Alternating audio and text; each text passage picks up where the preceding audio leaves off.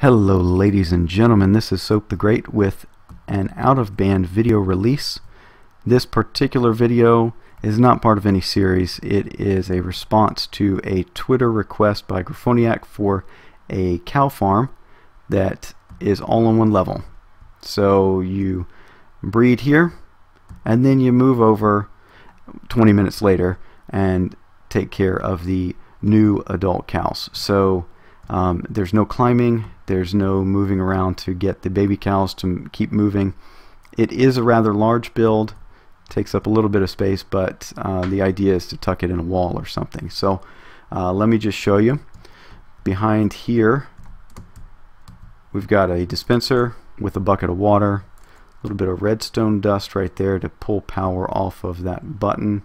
And what that's going to do is put those cows into the jumpy jumpy mode and it also functions as part of the uh, baby animal elevator. So we'll just breed these guys up. You see the particles going crazy there. Do do do do do.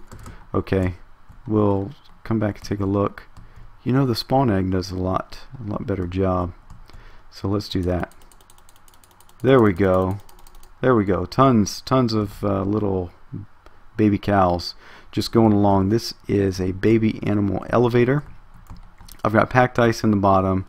There is a fence right there that pops them up half a block and then they just move on this way. And then they eventually go into the chamber of uh, broken dreams really. Um, and they'll drop down into this area right on top of a hopper.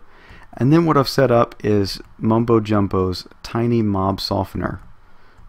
Pretty simple four ticks, two ticks, rising edge detector, and then what you do is you just push that button, lava blade comes out, and then goes back in, and it will cook them, and they get picked up by the hopper, and there we go, we get steak, and eventually leather, there we go.